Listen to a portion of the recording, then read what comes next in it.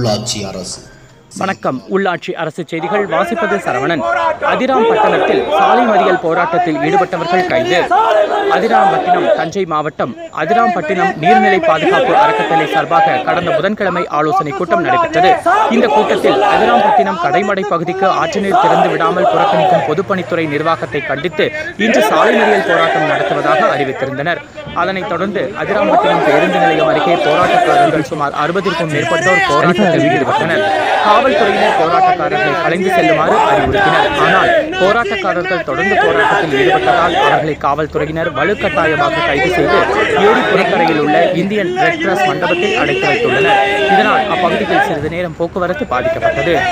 செய்திகளை உடனுக்குடன் தெரிந்து கொள்ள உள்ளாட்சி அரசு செய்திகளை சப்ஸ்கிரைப் செய்யுங்கள். தொடர்ந்து பெல் பட்டனையும் பிரஸ் செய்யுங்கள். பூமி இது பூமி இது.